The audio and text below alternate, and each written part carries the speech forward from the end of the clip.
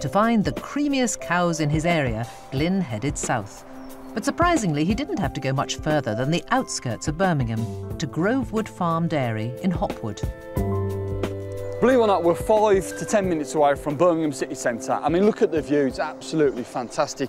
And we're here today to source some, you know, real honest double cream. And, and you know, it's on our doorstep. Hi, Mark. Glynn meets up with Mark Elliott, who's going to show him around. Early, ain't it? It is early, yes. Hey, I've got halfway through the day for you boys.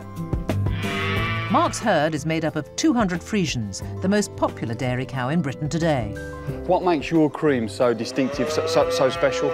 It's so distinctive because it's purely from the milk from the cows on this farm. So, so like some other farms or some other producers will take uh, milk from all different sort of Correct, a big of- dairy would take milk from hundreds of different herds and blend it all together and you would lose the distinct flavour. She's a bit noisy at the end. Yeah, that one is a bit noisy at the end there, yes. Is that one definitely from Birmingham? Birmingham accent, that one, Right, definitely. definitely. yeah. It's quite chilly out in the yard, which gives Glynn the perfect excuse to put on tight overalls and a silly hat. Right, then, let's go and see some cream. Yeah, basically, the milk comes in into a separator where the cream is then separated from the milk and comes through into this cooling tank here. That's then ready to package at that stage. It's ready to go then. So, yeah, we can put that into whatever size container or pot that we want to.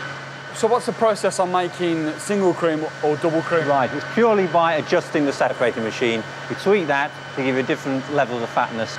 So I'm looking for like a really thick cream for my desserts. So, so what's in the tank at the moment? In the tank at the moment is double cream, which will be ideal for. Can we have a taste? Certainly, have yourself.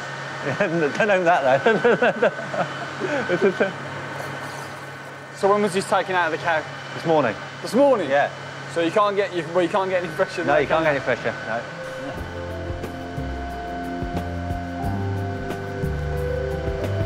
Superb, that is. Absolutely superb.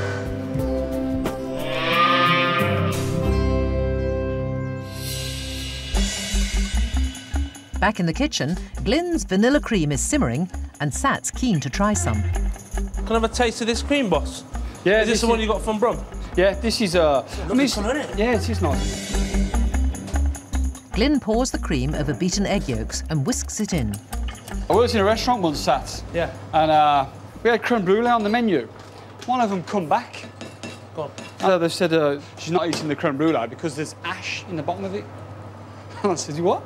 And what it was was it was the beautiful little black seeds from the. From the vanilla? yeah. No. You thought it was ash, but I think Brummers have moved on since then. I hope so. Glynn now needs his creme brulee mixture to cool down before he pours it onto the eggshells.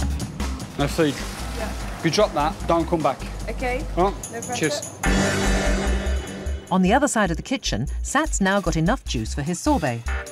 He's going to use one of his modern gadgets to give it a smooth texture, but first it must be frozen.